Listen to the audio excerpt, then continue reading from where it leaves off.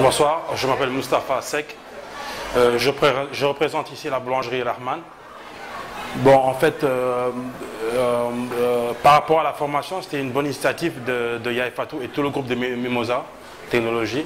Ça nous permet, nous, boulangers, de mieux contrôler notre, notre, notre boulangerie, du côté tout ce qui est finance, tout ce qui est rentabilité surtout.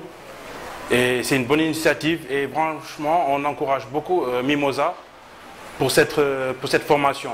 Bon, euh, par rapport au logiciel, peut-être qu'il y a quelques, il y a quelques euh, aspects à revoir, c'est tout à fait normal. Un logiciel n'est jamais complet, complet à 100%.